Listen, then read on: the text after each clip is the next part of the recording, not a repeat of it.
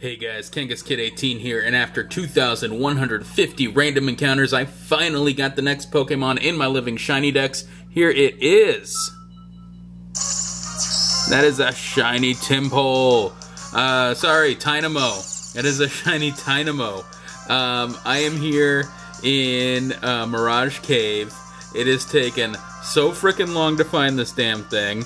I've got my Raichu out with static and everything, but I recognized it right away. It's a tiny bit bluer. It's got a nice orange uh, line on the side. It's a beautiful Pokemon. Alright, I'm gonna go ahead and catch this thing here. Let's just throw an Ultra Ball and just hope it works. Here we go. Ultra Ball, go. I can't wait to evolve this thing. Uh, Eelektross is one of the coolest shinies in my opinion. Uh, I'm just so psyched. That is it, guys. That is a shiny Tynamo uh, right in an Ultra Ball. Like I said before, really happy to get it. This uh, evolution line is one of the few that I actually like from Generation 5. Anyway, guys, if you enjoyed this video, want to see some more, please subscribe to my channel. Otherwise, guys, we're going to see you on the next Shiny.